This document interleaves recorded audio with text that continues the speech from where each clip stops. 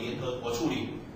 同年十二月二十九号，在联联合国大会里面，以三十三票赞成、十三票反对、十一票弃权下，正式通过议决划分巴勒斯坦土地为两个国家，一个是犹太人的国家，一个是阿拉伯人的国家。于是最后在一九四八年五月十四号，十四日终于复国了。这个是报纸报当时的报报上的。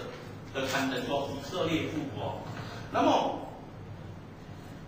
有这样的说法，以色列复国被誉为本世纪神迹中的神迹。为什么？为什么它是一个神迹？我告诉你，这的确是一个是是神迹的。在人类的历史当中，这个国家的史上没有一个国家灭国亡国之后有可能再复活的。你看我们中国。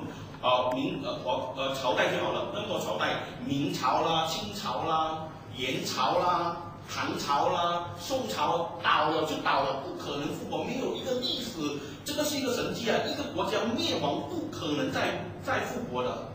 以色列复国完全是因为上帝的应许，神有讲，你一定要复国，一定要回来你的本家本土，我亲自要牧养你。今天，在一九四八年，以色列终于复国了。然后，复国有两有几个问题哦。你看，我们转中国历史就好了。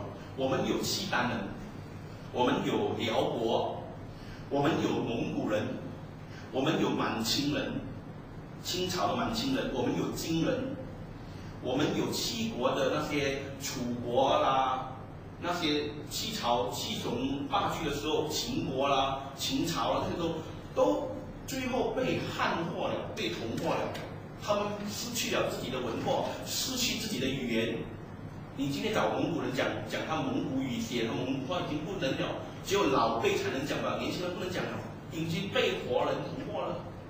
犹太人是唯一一个民族，经过二两千年的洗礼。